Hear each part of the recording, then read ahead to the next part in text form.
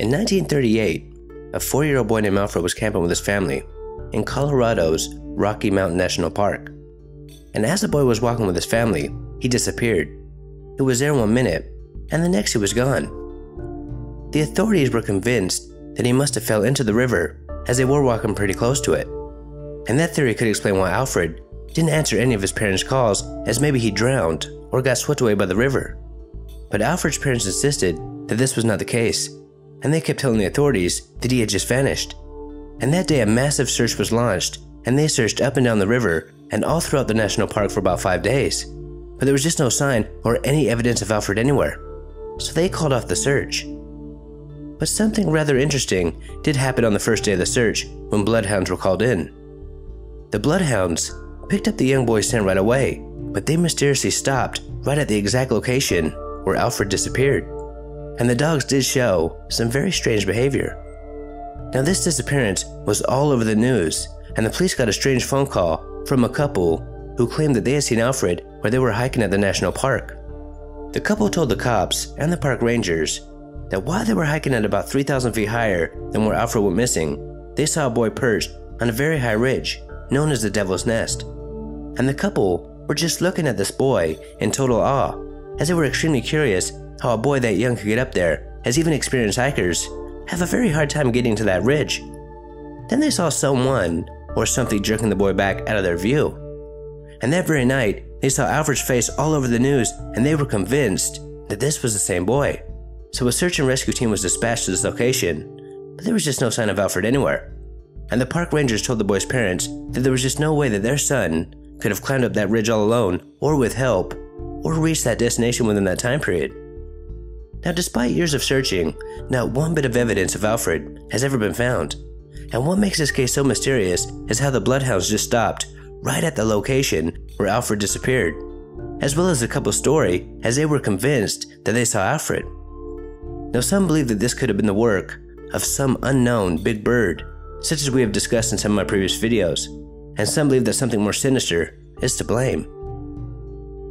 Another very interesting case happened in 1999 when a three year old boy named Jared was staying with his father at a Christian camp in Colorado. And Jared and 12 other Christian group members were hiking on the Big South Trail when Jared somehow managed to stray away from the group. And some fishermen told the authorities that they had seen Jared, and this little three year old boy asked them if they had seen any bears around. Now, these fishermen told this young lad that he should get back to his group, and it's a shame that they didn't escort him, as they were the last people to see young Jared alive. And everybody was searching for him, but there was just no trace of Jared anywhere. The bloodhounds couldn't pick up a scent, and the helicopters couldn't find him, and nobody could find any clues or any tracks. So the ones in charge of the investigation believed that Jared must have fell and drowned in the river, just like Alfred. And a couple of days later, the search was called off. But four years later, they did find his body. Jared's remains were found in a very remote and difficult area to get to, and his body was found really close to the trail where he was last seen. But it was about 500 feet above, and there was just no way that Jared could have walked up there all by himself or with help. And when experts examined the boy's body, they did find scratch marks on his cranium, making them believe, at that time, that he was attacked by a mountain lion. But many disagree with that statement, as this did not fit a mountain lion attack, and a mountain lion, or any other land predator, wouldn't have been able to drag Jared's body to that location. Now, after further examination, they concluded that these scratch marks did not match any known animal, and that statement did come from one of the experts who was assigned to the case, according to Missing 411. And what was even more strange, as the boy's clothes were turned inside out, and his clothes and shoes were surprisingly fresh and clean, as if Jared had only been lying there for a couple of weeks or days, well, at least in regards to his clothes, making this another very sad but very mysterious case.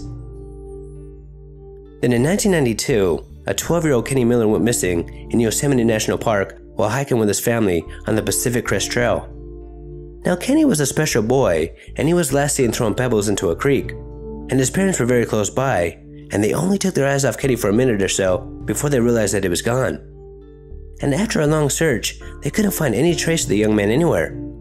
But about a month later, some hikers did find Kenny's body on a very difficult to get to ridge.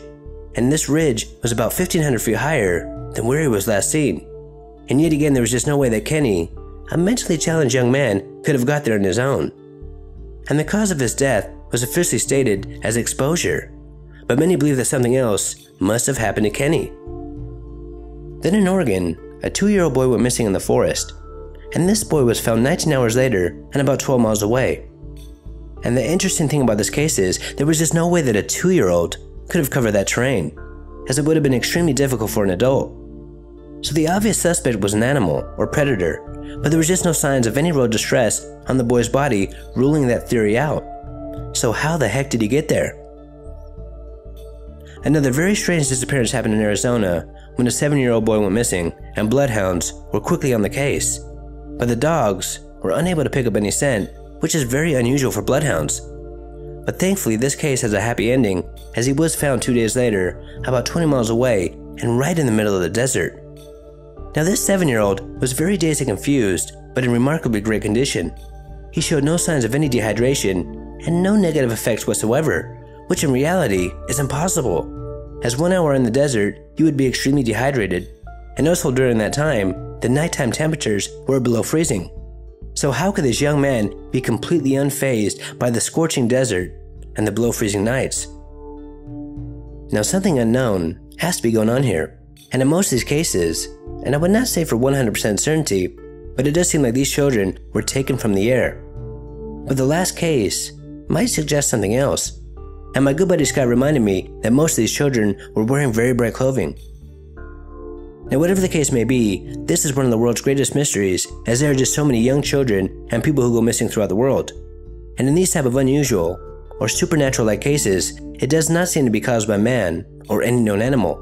And it also seems that the government knows what is going on, or at least that they know something, but for whatever reason, they're not telling us, only making us more scared and also making us believe that something unknown, something paranormal, must be going on here. Until next time, this is Paranormal Junkie. Make sure to hit that subscribe button and stay tuned.